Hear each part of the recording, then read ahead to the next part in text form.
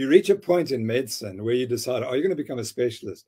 What that means literally is you take a textbook with about 3,000 pages and you learn every word in that textbook because you could be questioned on anything.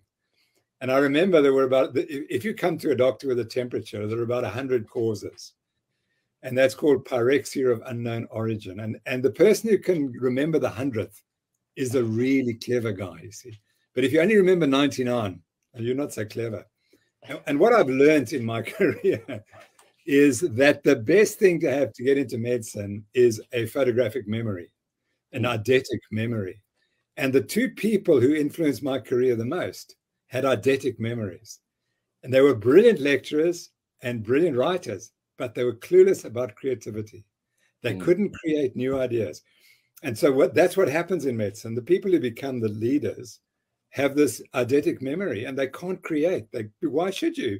If you can pick up a book and remember everything in the book, why do you have to create anything new? But I wasn't like that. I had, didn't have an eidetic memory. So I had to go and work things out. The only way I could remember things is if I could work out how it logically fitted one to the other. And so that was I was that's why I'm skeptical because mm. I want to know, but how do when you say that, where's the evidence? And how does it link to other information that I have? So the scientist who isn't skeptical, who isn't maverick, is by definition not a scientist. If you're not controversial, you're not a scientist. Hi, folks. This is Dr. Rob Cywes. Um, I am the carb addiction doc, and I've been working in this space for 23 years. Um, the epiphany, the aha moment happened to me in my own journey with obesity and metabolic health. And I've been working in this space for 23 years, having started out in the laboratory with my PhD, demonstrating the danger of sugar, the damage that sugar can do to the to the body and to organs of the body. However, one of the big pushbacks in the ketogenic space is that, oh, it's just a fad diet. Oh, everybody gains their weight back. Oh, you can't sustain. All the BS. And then part of it is there is no science to support this. There is no science to support this. Well, we've known in our space that that is absolutely wrong. But for the first time, you've got push. You've got the opportunity for pushback. And what I'm what I'm talking about is this book.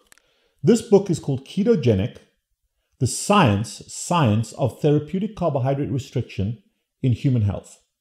This is a big textbook written by 62 authors from across the world.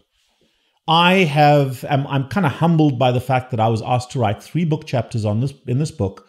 I wrote the chapter on the liver, which is the heart and it's the liver, it's not the heart, but it's the it's the primary place of human metabolism. It's the regulator of human metabolism. So the liver was a very, very important uh, um, topic to write. And I wrote that here, and I've subsequently recorded some videos on this. And you will see my talk um, that came out of that book chapter uh, on this channel in, in a, a few episodes' time. I also wrote the body weight chapter, and I'm going to get into that in a few minutes. It's the carbohydrate addiction concept of weight management, and it covers anorexia as well as obesity. And then the third chapter I wrote was because I'm a pediatric surgeon as well as an adult general surgeon, and I have a passion for the human brain. I wrote uh, the chapter on autism spectrum disorder and gave an interesting perspective on this. And in fact, we're going to follow up uh, in one of the uh, videos that uh, is coming out soon on novel and interesting concepts of autism spectrum disorder. The interesting thing about this book is that it is incredibly heavily referenced. I mean, if if anybody asks, there's just I just opened this selectively. There's a double page of references. It is heavily referenced with peer-reviewed scientific data.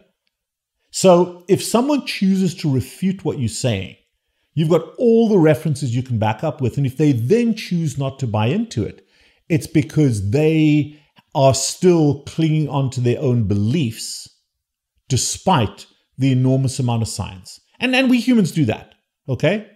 We humans do that. We have an opinion that is belief based and we will support our beliefs despite the science. But there is this growing body of science, and I would urge you urge you to get your copy. You can order on Amazon, you can order it from Elsevier. It is a very, very useful book. And anyone that's a biohacker, this is the way to go. Anyone that's a health practitioner should have a copy of this to be able to practice in the metabolic space. Because by far, the majority of diseases you are going to treat irrespective of what kind of healthcare provider you are.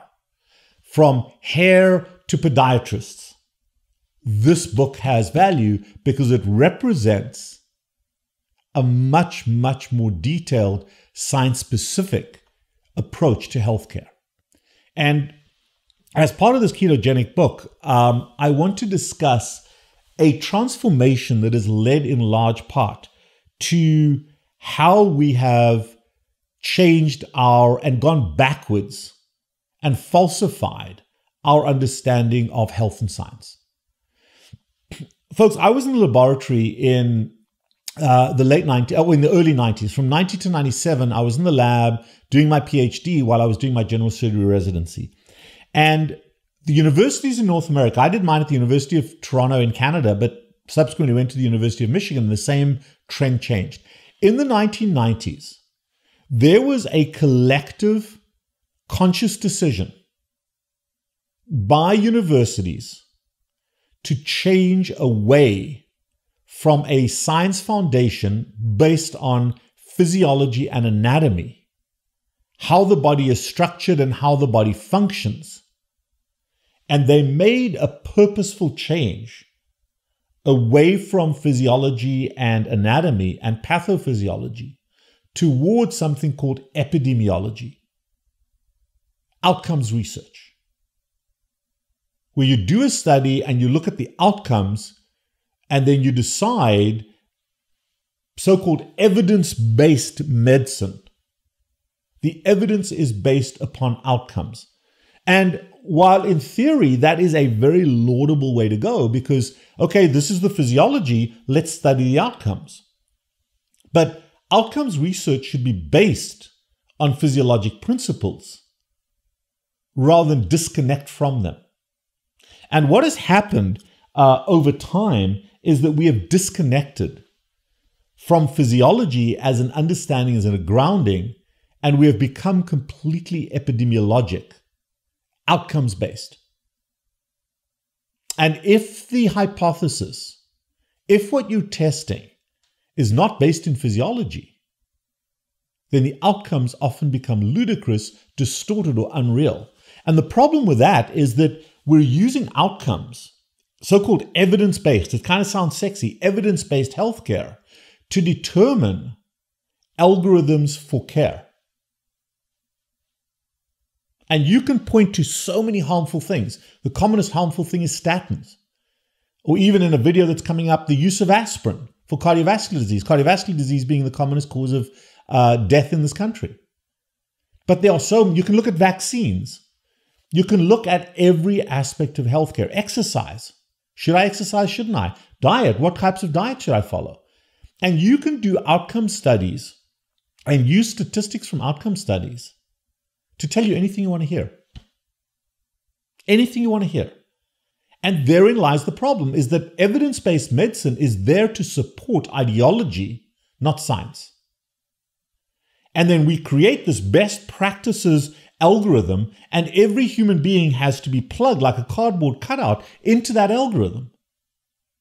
And if you, as a, as a healthcare provider, do not adhere to some outcome statement that changes every few years, that changes with the next study. But if you don't adhere to those outcome epidemiologic studies that are never ever causal, they're associations at best, then you're practicing substandard care. I did a ludicrous thing the other day. I did a video maybe a, a year or so ago where I looked at some salt, and it was salt that came from a mine. and it had an expiration date on it. This salt has been lying under the ground for hundreds of thousands of years, and now suddenly it has an expiration date on it. Really? Really? It's salt. But thank goodness I was able to use it before the expiration date. That's epidemiology, that's outcome metrics. How the hell does that influence what we do? And more and more physicians are committing suicide, are burning out because we're forced to adhere to outcome algorithms that do not benefit our patients. Think of this, okay? Can you imagine treating a heroin addict, addict and saying, okay, if this is the dose of heroin that you use, as you stop breathing, this is the dose of Narcan you should use. And yes, go ahead and use your heroin and then use this amount of Narcan so that you don't stop breathing. Okay? Can you imagine that as an algorithm? It's fine to use heroin. In fact, you should be using heroin because it makes you feel good. It makes you feel all fluffy and warm. Use heroin, but then please use this dosage scale of Narcan. And if you then use fentanyl together with that, or you use other opioids, xylazine, this is how you manage the dosing. I mean, that, that sounds absolutely ridiculously stupid to do that. It's actually not that stupid. It's exactly what we do currently with diabetes management. Eat this amount of carbohydrate, and then based on the carbohydrates, calculate how much insulin you have to give to yourself before you eat those carbohydrates to get rid of the carbohydrates from your bloodstream that you just ate. Isn't it isn't it a little bit better not to use heroin? Isn't it a little bit better not to eat carbohydrates? But that, folks, is epidemiology. Those are epidemiologic studies where the glycemic index and the glycemic load have been studied, and they say, okay, well, this amount happens when this amount, this thing happens, and you use the insulin to. The physiology says when you eat sugar, this is going to happen. Don't eat sugar. But we've disconnected from that. And as part of that, as part of the, the interesting algorithm, and, and, and this is personal to me, I am the carb addiction doc. I've understood for 23 plus years in myself, in my work, and in my patients that obesity, type 2 diabetes is not a food problem. It's not a nutrition problem. It's not an eating problem. It's a drug abuse problem. It's a substance abuse problem. And therefore, the way forward is to quit. And folks, That's not new. That's not novel. This is, this is where epidemiology screwed us over. Here's another book. Okay?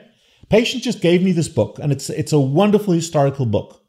It's called the Carbohydrate Addicts Healthy Heart Program.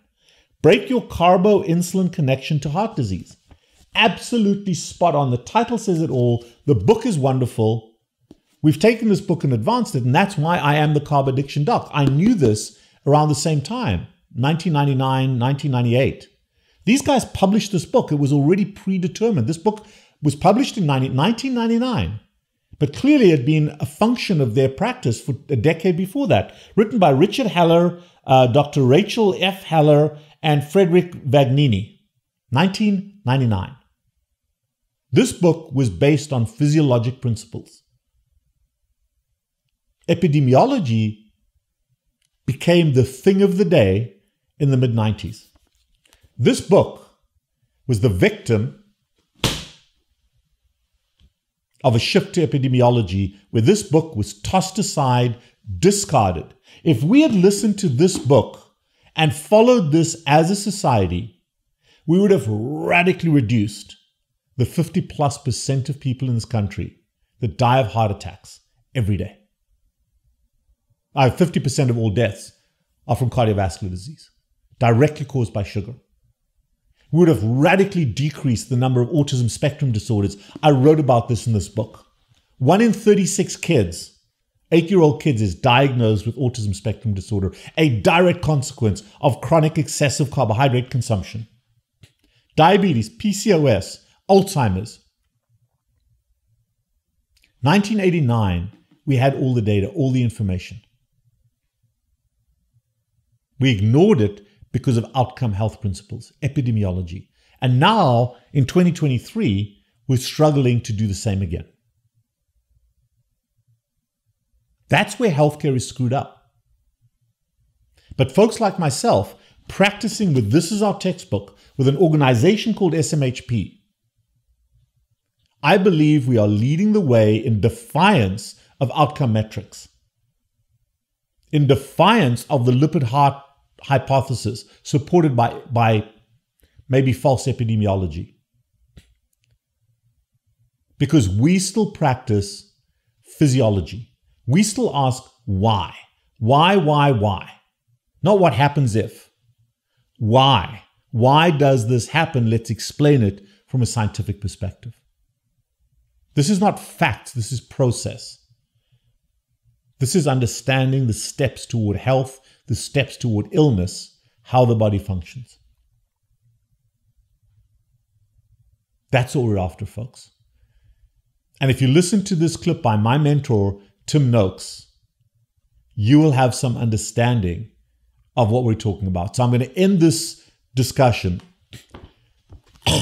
with the editor of this book, The Nutrition Network, headed up by Tim Noakes, and a quote from him in his wisdom about how he and I went through medical school and how he and I came to be who we are. And so many of us in the space. I am the Carb Addiction Doc. If you want to visit with us, if you want an appointment, text us 561 517 0642 anywhere across the world. You can use WhatsApp. There is a waiting list for me, but we will get to you. But retake control of your health physiology, not just some outcome metrics. If you want to leave us a, a, buck or two, do that on our PayPal account. You'll see it in the show notes. Please leave comments. Please leave questions. The data is there, the science is there. They can choose to not buy into it, they can choose not to believe it, but there is no alternative set of facts.